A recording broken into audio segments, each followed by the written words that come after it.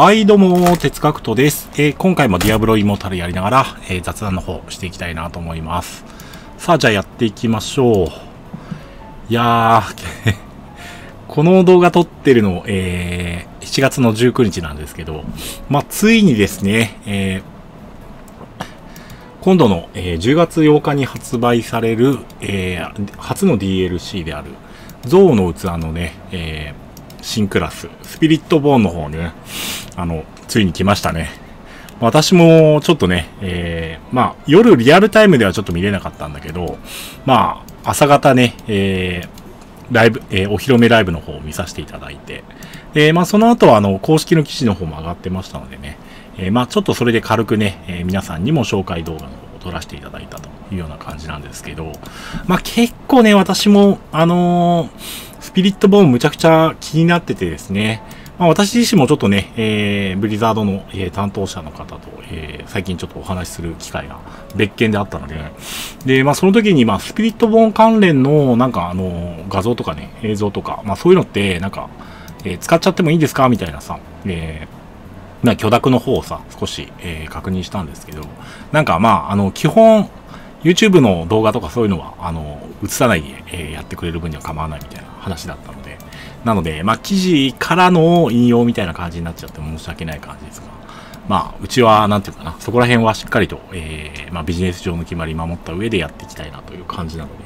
まあ、ちょっとね、えー実際の、まあ、10月8日までは、まあ、それほどね、大々的には扱えないかもしれないし、まあ、ちょっとね、もしかすると、えーまあ、サプライズ的なね、動画が出せる可能性もありますので、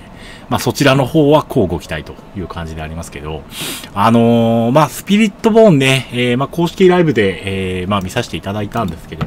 あのーまあ、かなり私的には、えーまあ、興奮するクラスだったんですよね。あのーなんだろうな、えー守護精霊を呼び出して、まあ、違う戦闘スタイルをこう組み合わせて戦っていくみたいな感じの、えーキャラクターなんですけど、まあ、なんていうのかな、ちょっとイメージとしてはドル色に近いように、えーまあ、事前の情報では、えー感じていたんですけど、実際蓋を開けてみたらかなりドル色とは違う。えーまあ、ジャングルの中で、まあ、えースピーディーに戦っていく。まあ、まさになんていうのかな、えーイメージのキャラクターとして、えーこう、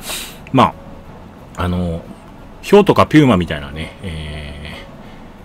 ーキャラクターっていうのが、えーまあ、描かれたりとかしてますけど、まあ、それにね、近い感じですよね。えーまあ、なんだ、あ、ジャガーか。あのーまあ、ただ、ジャガーは一精霊に過ぎなくて、えーまあ、ゴリラとか、あとね、えイーグル、えーそして、えーセンティーピードという。センティーピード私最初ちょっとこう、あのー何のね、えーあれな、ムカデなのかなと思ってたんですけど、うあの、だいぶなんていうのかな。まあ、ちょっともしかすると、センティーピードは、あの、人によっては受け付けないとかあるかもしれないけど、ただまあ見た感じは結構デフォルメされていて、なんていうのかな、えーちょっと昆虫の気持ち悪さ的なものは、ないとは思うけど、うん、ただやっぱり気になる人は気になっちゃうかなという感じがするので、まあ、そういった方は、まあ、ジャガー、ゴーグル、えゴリラ、えーイーグルあたりで遊んでいくのがいいのかなと思いますけど、まあでもね、結構やっぱりね、どの、えーまあスキルも非常に、えーまあ魅力的でね、えー早く触ってみたいなという、えー感じがした、えーライブ配信だったんですけど、うんまあそうですね。まあ特に私気になったのはやっぱり、あのもちろんね、その、スピリットボーンそのもののね、えースキルだったりとか、あるいは、まあ、スキル、スキ、えースピリットボーン用にね、えーまた新しく作られてくる、えーまあ、レジェンダリーの化身とかね、えーまあ、公式の方も少しね、えまあ、ライブ配信の中で、えこんな組み合わせにしていくと、まあ、各精霊との、え精霊の、えスキルとね、えスキルを、えさらに強化していくことができるよみたいな組み合わせ、え出してくれてました、いたんですけど、まあなんかね、うんまあ、早く触りたいなという印象で。で、結構ね、あの火力的な部分とかも、まあ、あの公式ブログも含めてね、えーいろいろと、えー公開されてて、あの、攻撃速度30%アップとかさ、あとまあ、え結構その、センティピードなんかは、えー、まあ、継続ダメージとか、あと、えー、茨の加護、えー、まあ、反射の、反射ダメージとかをね、使って戦っていくような、ね、こともできるというようなことが書かれてたんで、なので、まあ、なんだろうな、火力的に今までのね、えクラスを、はるかに凌駕した、えバランスなんじゃないかみたいなことでね、あの実装即ナーフが来るんじゃないかとかね、まあ、そういうことを心配されてる方もいらっしゃるみたいですけど、まあそうですね、あのー、まあちょっとスピリットボーンの話からは離れちゃいますけど、やっぱりディアブロシリーズ過去作、えー、眺めてみるとですね、えー、まあ、なんだろうな、クラス追加が行われたのは、まあ初代のディアブロも実はですね、えー、ヘルファイアという、えー、まあ、あの、モッドですね、拡張パックというよりは、有志が作ったモッドで、今は、あの、公式のね、ディアブロを買うと、えー、おまけでついてくる、そのモッドもついてくるみたいな感じになってるんですけど、あの、そちらでまあ、えー、モンクというクラスと、あとね、バーバリアンが、まあ、非公式に作られてたって感じで、まあ、その時も結構、その、新しいクラスの候補として、あの、棒術を使う文句だったりとかね、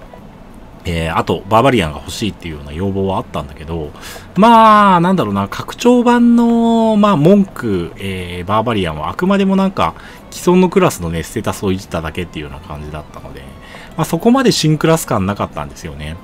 で、まあ、本格的に、まあ、公式が拡張パックを出し始めたのが、えー、ディアブロ2リザレクテ、あ、ディアブロ2の、えー、まあ、拡張パックである、えー、ロード・オブ・デストラクションという、えー、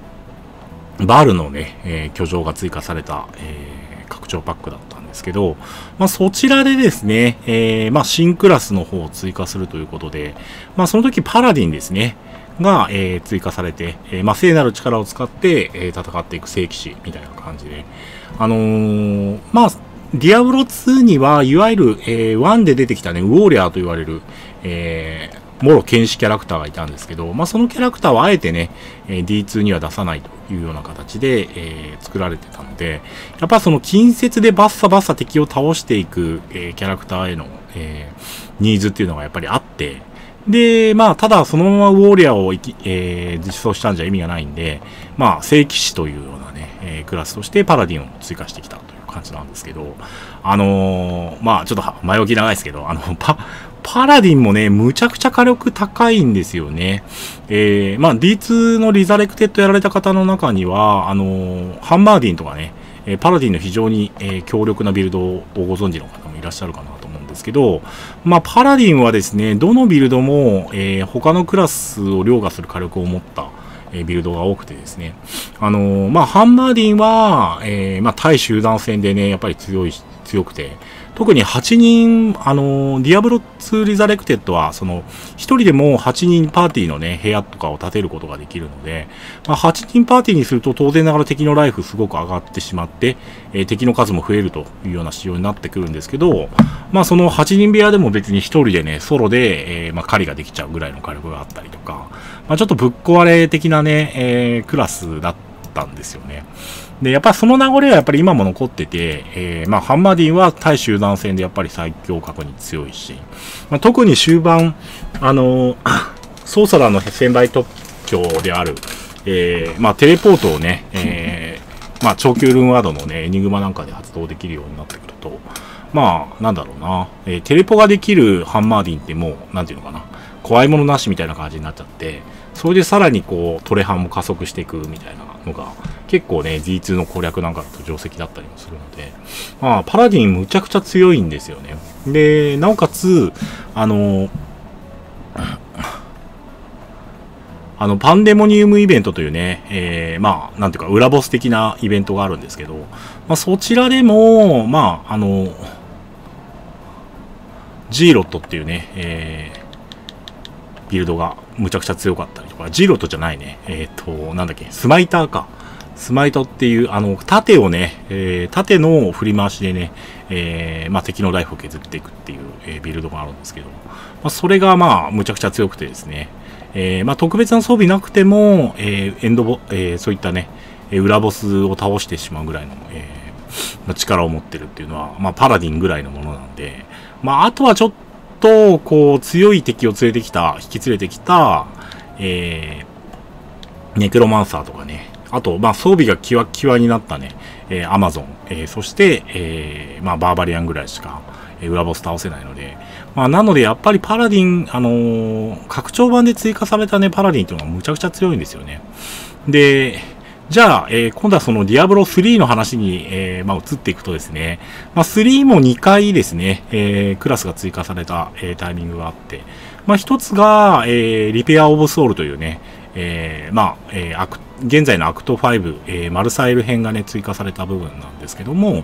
まあ、そこの DLC でつく加わったのが、えー、パラディンではなくて、えー、クルセイダーというね、えー、クラスで、まあ、クルセイダーもむちゃくちゃ強くてですね、まあ、GR のランキングなんかだと、まあ、ずっとね、あの、クルセイダー B 期の、えー、時代が続いててっていうような感じで、まあ、なんかクルセイダーばっかり優遇されてて、なんかむちゃくちゃ、あの、他のクラスが不遇だな、みたいなさ、えー、評判があった時代もあるというような感じになってて、まあなんだろうね、新クラス優遇ってやっぱりね、仕方のない部分もあるんですよね。で、まあ、ディアブロ3発売した当初とかだと、特になんか今までの、えー、ディアブロの中に、えー、出てこなかったね、クラスである。まあ、ウィッチドクターっていうクラスがむちゃくちゃ強かったりまして、まあ、特に敵の耐性とかを、えー、まあ、下げられる。まあ、敵の、え、まあ、防御力とかそういうものを、え、下げて戦えるというところが、え、まあ、ウィッチドクターが最初強かったっていう理由の一つなんですけど、まあ、ウィッチドクター優遇の時代があって、で、えー、拡張版が、一つ目の拡張版がね、出たところで、まあ、クルセイダーにその派遣が移っていって、で、まあ、しばらくしてですね、えー、まあ、ネクロマンサーは実装しないみたいなことを最初言ってたんですけども、やっぱり根強い人気に、えー、後押しされてですね、えー、ネクロマンサーだけの、えー、まあ、DLC というものを、えー、最後に、えー、発売したというような感じで、で、それからはね、クロマンサーがむちゃくちゃ強いという時代がしばらく続いてたというような感じになってて、あの、CS 版だとやっぱりちょっと環境ビルドで、まあ、火の鳥ウィザードというね、えぐいビルドがあるんで、な、なんかウィザードがひいきされてるように見えるんですけど、実際のところはネクロマンサーとか、あとね、えー、まあ、クルセイダーの火力がやっぱり高いっていう、えー、部分はね、3でもやっぱりあるという感じになりますので。なのでね、まあ、しばらくはおそらく、え、スピリットボーンに、まあ、えー、みんなのね、注目が集まるような、えー、調整が行われていくんじゃないかなという気はしますね。まあ、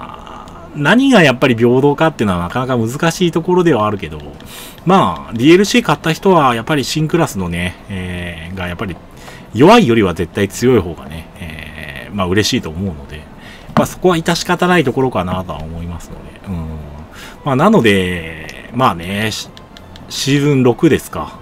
で、えー、追加される新クラス、スピリットボーンの方ね、楽しみに待ちたいなというところですね。なんか まさかのディアブロの歴史語りを結構長くしちゃいましたけど、うん。まあ、そうよね。新クラスやっぱり強くなかったら、ね、DLC 売れないじゃないですか。だからまあそこは仕方ないところはあるとは思うんだけど。うん。ただね、やっぱりディアブロ4今回かなり長い時間、えー、プレイしていて思うこととしては、あの、正直ね、火力差があったとしても、あのー、プレイの質っていうのかな、楽しさそのものはそんなに変わらないんじゃないかなっていうところがあって、まあ、奈落での到達ティアとかもさ、やっぱクラスによってやっぱ如実に違う、まあ、特にビルドによってかなり違うというところが、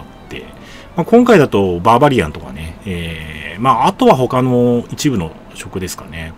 まあ、ハートシーカービルドも結構装備を極めていくと上の方まで行くことできるけど、やっぱり馬場がすごい強かったなという、えー、まあ、なんだかんだでね、印象があったんで、まあ、そこもぜ次回ちょっと弱体化するとかしないとかっていう部分はあるので、まあ、なんだろうな。気になるところではあるけど。まあ、10月8日、あと2ヶ月以上半ぐらいありますけど、むちゃくちゃ気になりますね。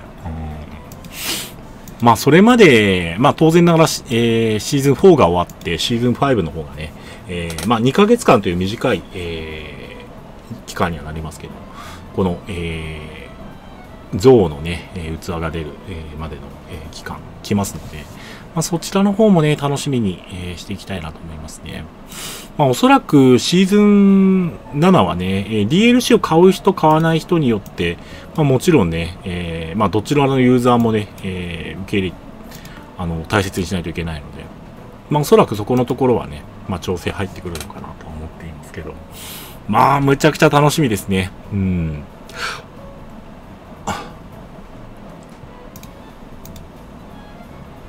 そこら辺がどうなってくるかですね。本当にね。うん、まあ、ということでね、まあ、さすがにちょっとね、えー、まあ、ハクスラ大量にやりすぎてて、うん。まあ、イモータルはな、少し、うん、活動量を下げざるを得ないところはあると思うんだけど。うん、まあ、シーズン4までの間に、まあ、ちょっとね、えー、また雑談会でもお話しすることがあると思いますけど、あのー、かなり昔に発売されたハクスラである、あの、セイクリッド2っていうね、え、作品があるんですけど、そちらの方もね、やっていきたいと思ってますので、うんまあ、そちらもね、え楽しみに、えしていただけたらなと思っております。はい。ということで、まあなんか、あれですね。えー、っと、一応、馬場ちゃんの方もやっておきましょうかね。うん。最近なんか雑談会基本、こう、メインキャラと馬場ちゃん両方やってるっていう感じなんですけど、なんかこれ別に活動量が増えてるわけじゃなくて、実は減ってるんですよね。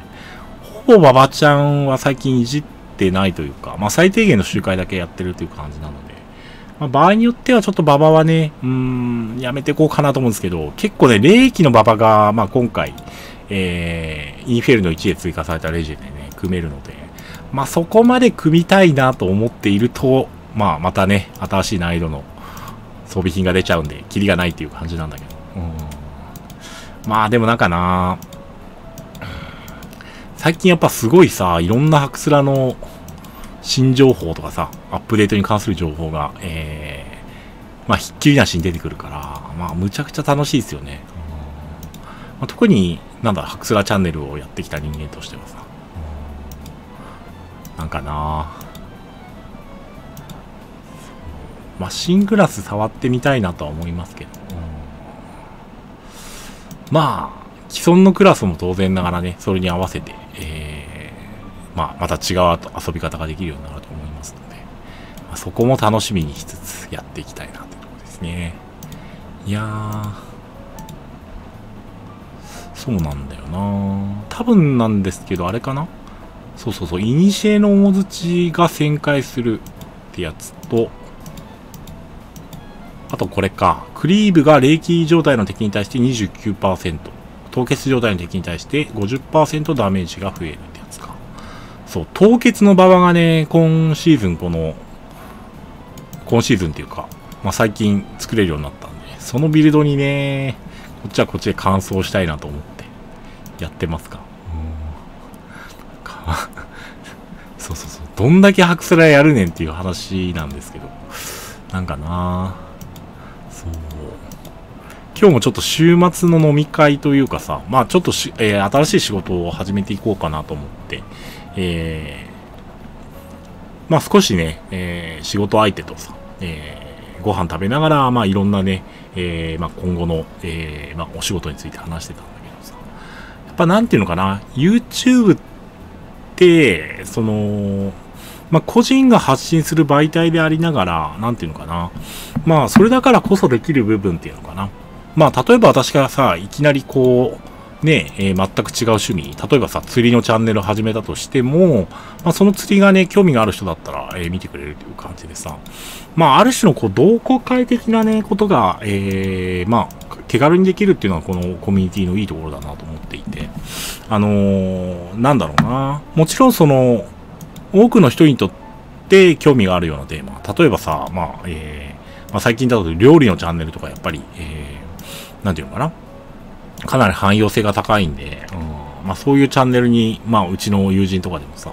あの、本人全然料理しないんだけど、あの、人を雇って、えー、料理を作ってもらって、それをきれいに映してね、動画にするチャンネル作ってる、えー、友達とかいたりとかね。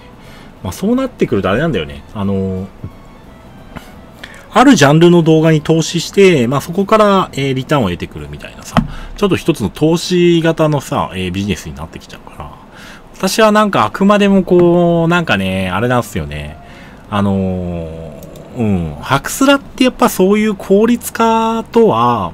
あのー、やっぱり一線を画する部分があるから面白いんだと思うんですよね。自分でこうしてこう走って、そして、えー、まあ、敵を倒して、で、えー、アイテムを集めていくっていうさ、なんかそういう泥臭さがなく、なくしてやっぱハクスラの楽しさってないような気がするんで、そういう意味で言うと、まあ、ディアブロチャンネルとかはまさにその効率化とは、まあ、無縁なものでありたいなという感じはしてるんだけど、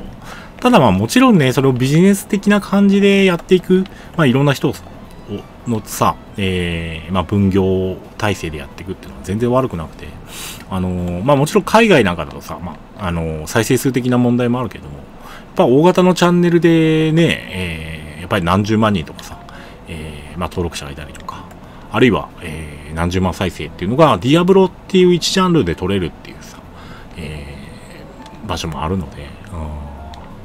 まあ、それぐらいだったらやってもいいかなと思うけど、そしたらなんかもっとマイナーなゲームいきそうだね、私の場合ね。うん。まあ、まさに、ちょっとね、明日からスタートしようかなと思っている。えセイクリット2とかはもうかなり発売してから年月経ってるゲームなんで、あのー、まあ、そういった、まあ、なんていうか、バズ的なね、ものは多分期待できないとは思うんだけど、ただやっぱり YouTube であんまり、その、まあそもそも日本語の動画ってあんまりないのかな。一応、なんか2人ほどね、えー、実況を上げてくださってる方いらっしゃって、まあそこら辺はね、一通り見させていただいたんですけど、なんかな、あのー、もっとたくさんやってるのかなと思ったら意外となくて、えー、まあ、全部で6クラスかなクラスもあるので、まあそこら辺もね、あまあ、なら哲学とチャンネルがやるしかないという感じで、まあ、やっていけたらいいかなとは思ってますけどね。うん。なんかな、そういうこう穴場的な、隠れ家的な立ち位置でさ、やっていくっていうのがこのチャンネルに私が求めてるもの。うん。だから、なんかこう、メインチャンネルはやっぱり人気を取っていくっていうかさ、まあ、なんか今日もね、結構話をしてたんですけど、やっぱり YouTube ってさ、あのもう、まあなんか、変、有名になって変なさ事件起こしちゃったりとか、まあそういう人もいるけど、ただやっぱりなんでああなっちゃうのかっていうとさ、結構仕事の中ではやっぱり難しい部類だからだと思うんですよね。あのー、なんていうのかな。えー、まあ今例えばさ、すごい再生回数が取れる人でも、1ヶ月後同じネタでさ、再生数が取れるとは限らないし、なんていうのかな。か、そんなこと言ってるとなんか自分がそんなにね、手を入れなかったような動画がさ、バズって凄まじい数の再生回数を叩き出したりとか、まあそういうちょっと水物的なところがあるんで、まあ、普通のビジネスに比べるとかなり厳しい。あの、かなり計画を持ってね、えー、動画を作っても、それが金足も伸びるとは限らないというるし、だから、なんていうのかな。私も結局そういうリスクを考えて、やっぱ分散型、えー、まあ、多ジャンルで、えー、複数の YouTube チャンネルを運営していくっていう方法で、えー、まあ、稼いでるわけなんですけど、やっぱね、うーん、なんかディアブロチャンネルはもう趣味のチャンネルでありたいね。いつまでも。なので、まあ、マイナーだろうが、メジャーだろうが、とにかく面白そうなハツラだったらやっていくみたいなスタイルでさ、やっていけたらいいかなと思いますが。うん。まあでもやっぱりよ、ディアブロ4よくできてるよね。うん、昨日、やっぱりその開発者ライブの中で見てても思いましたけど、あのー、まあ、今回新たに追加される、えー、まあ、かつてのあの、えー、アクト3ですかね。ディアブロ2の、えー、ジャングルっていうのが、まあ、ナハントゥーっていう地域なのかな？として蘇ってくるという感じで。なんかあの、中でもね、結構、その、まあ、クラストとかっていうようなさ、えー、あの、まあ、ジャングルの中の、えー、奥地のステージみたいな感じで、まあ、そこら辺もね、すごい気になってますね。あの、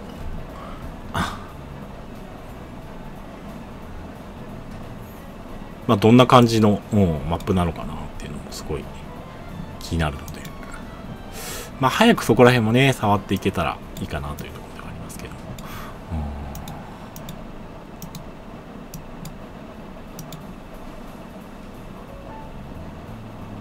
あ今回報酬クエストなんだね。オッケーオッケー。そしたらあと2回ぐらい回したら終わりにしましょうかね。いや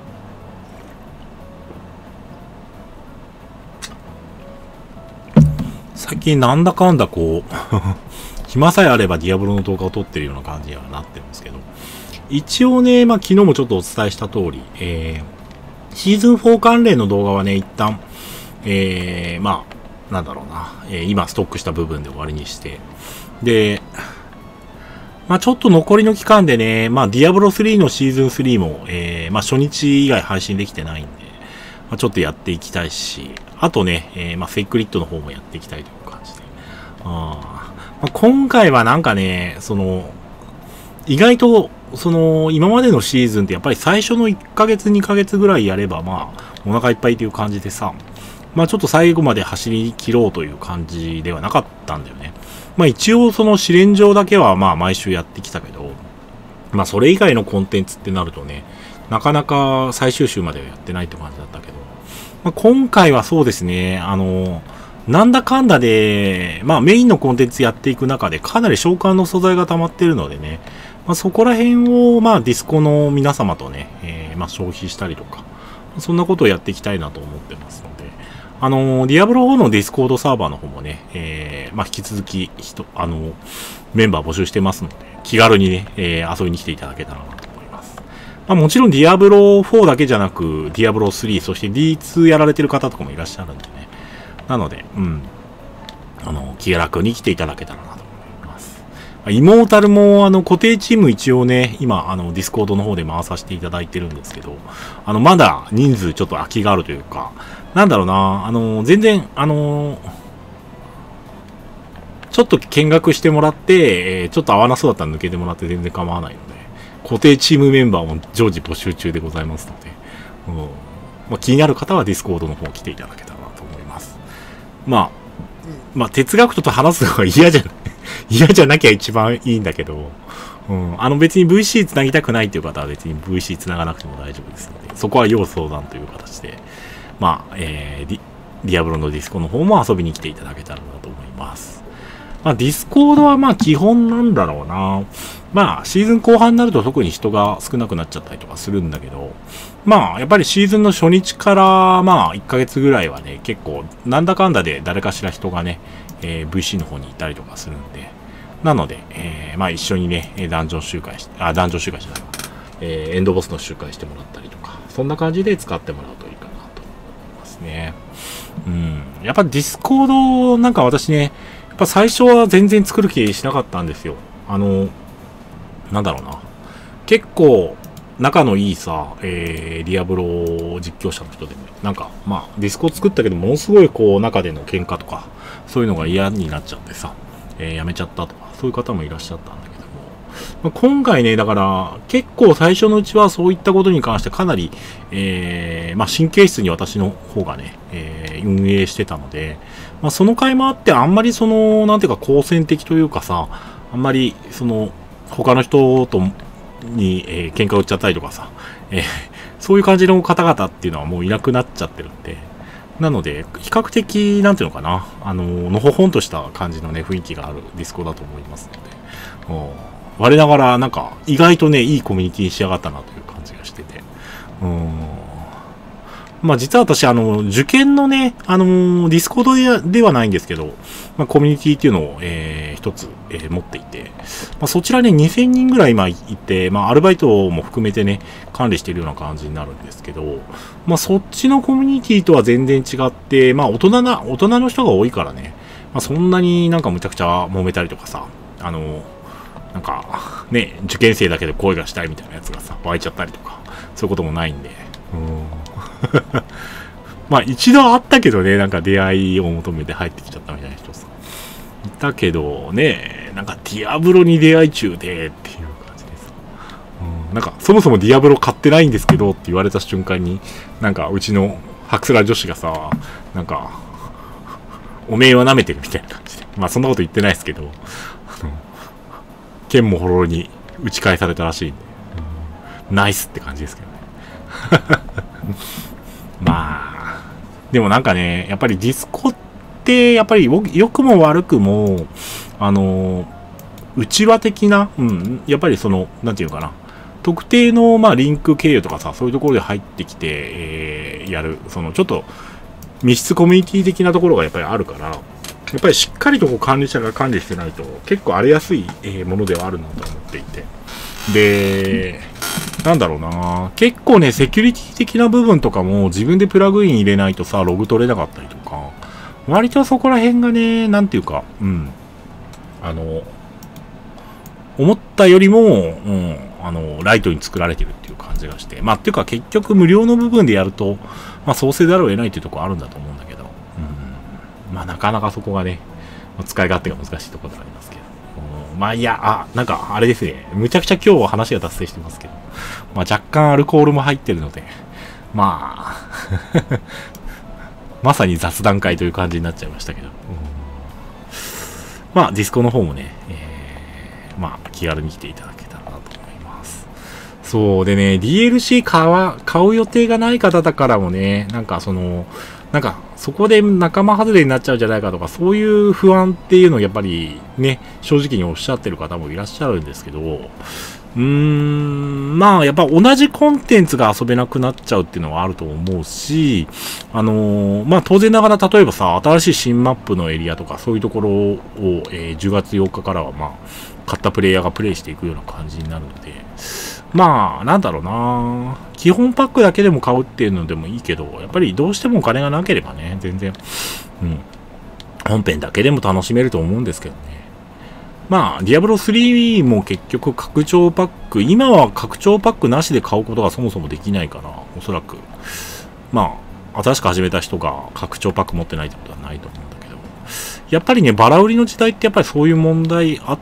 て、まあ、だんだんだんだん、なんていうかな、ディアブロ自体の価格も下がっていって、まあ、今もね、本当に半額ぐらいのセールになってるのかな、本体が。なので、まあおそらく DLC もね、1本と言わず、おそらくね、えー、来年再来年とまた出てくれたらいいなと思っていて、そうね、うん。まあ、2で1本、えー、3で2本と来てるんで、まあ4で3本出してもらって、うん。メフィストと来てるわけなんで、メフィスト、バール、ディアブロみたいな感じでさ、追加してくれたらいいな。そう。なんかほら、最後でね、これもう私の妄想なんで、まあ多分、あの、賛否両論あると思うんですけど、最後で、なんていうのかな、人類の味方になったリリスに、えー、味方してもらいながら、ディアブロを討伐しに行くとかさ、そういうのも楽しいよね。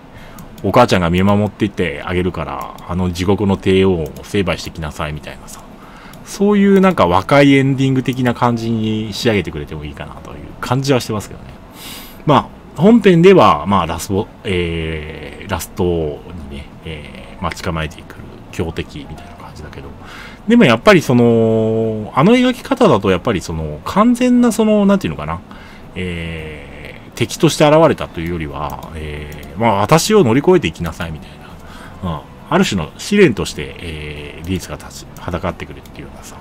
描き方がされてたから、なんかたなんかね、こう、今後の DLC の展開の中でさ、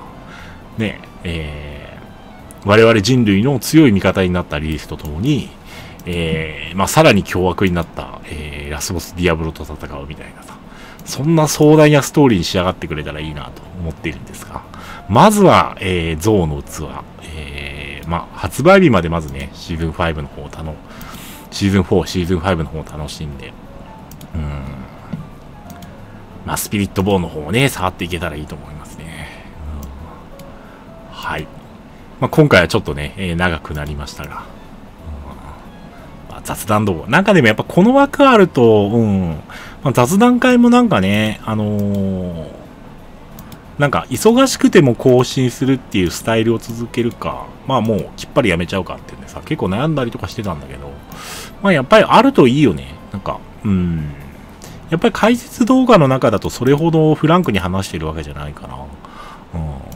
まあなんか実はこういうことも話したいなとかいうことがありながらもなんかそこをさ、えー、はしょって話さなきゃいけないっていうのがやっぱ動画投稿のさ悩ましいところだと思うので、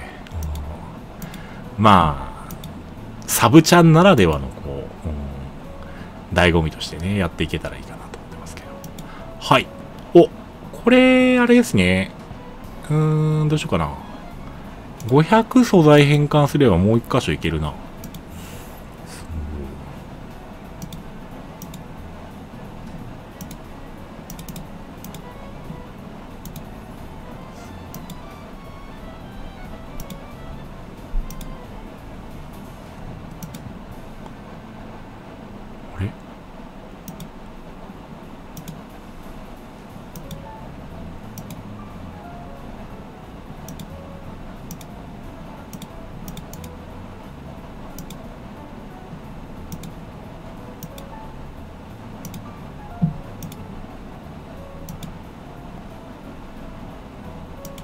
し、これで、